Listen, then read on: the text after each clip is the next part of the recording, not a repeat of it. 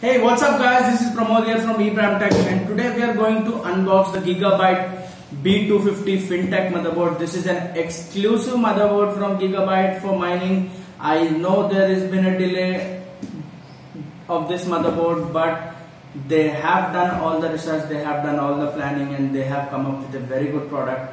So unlike all motherboards, you will have an on off button that they will provide to you on off as well as a reset button. And then they are also providing you a triple PSU link inside this box so which is a very good idea.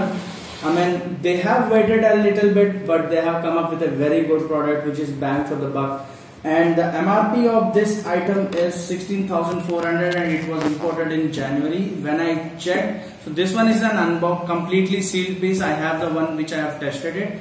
And the BIOS on that was from January 2018 so it is a very new product. It has 12 PCIe slots. You'll be able to connect 12 graphic cards on this. And let me just quickly unbox this and then show it to you. Uh, just to be uh, sure I'll tell you once again. This is a B250 chipset it is a B250 FinTech FinTech motherboard Gigabyte B250 FinTech motherboard. It comes with a LGA 1151 socket so you can use your 6th and 7th generation processors with this. If you use a 6th generation processor the RAM speed will be degraded to 2133 MHz and if you use a 7th generation processor the RAM speed would be 2400 MHz. So let me just quickly unbox this. What all we have? We have this this is a paperwork we have a driver CD and apart from that so here is the motherboard itself. So let me just quickly show the motherboard to you. Unlike the ASRock H110 even this is built like the Biostar one. I mean the PCIe ports are placed little apart so that there are no you know short circuits and this is a very good motherboard. Okay so this is the motherboard here. We have a 4 channel RAM dual channel RAM okay. What else do we get in the box? So this is the IO shield. This is the button that I was talking about. So this will work as your power and reset button. It will fit onto the motherboard. This is a triple PSU link. You will be able to connect three PSUs simultaneously to this motherboard if you use this link. And we have the SATA power cables. So that is what we get in the box.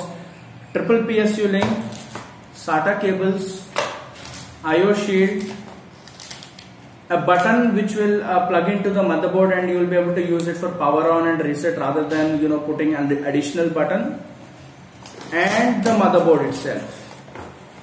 So uh, that is it guys. I mean uh, this is just a small unboxing video wherein I have showed what, what all is there in the box. So this is the motherboard you can take a look again and unlike other motherboards it comes with a VGA slot. So if you are using the onboard graphic card, you'll be able to use your normal monitor rather than converting from DVI to HDMI or whatever. You can directly use the VGA slot. So Gigabyte has taken little time, but they have come up with a very good product. And I, am just going to build a two rigs today with this motherboard. I mean, I have the other one as well. So they are hybrid rigs. I'm using 8 AMD and 4 NVIDIA on this and once everything is done then I'll, I'll share a review video wherein I'll review it completely what all it run what all it cannot run and that would be it. If you uh, want to see that video that video will be given in the description below. And I'll give you the link where from where I bought this motherboard as well as the dealer's uh, phone number where I got this motherboard from. The, the MRP of this motherboard is 16,400 but you will get a good discount with the dealer. So that is it guys. Have a nice day. Bye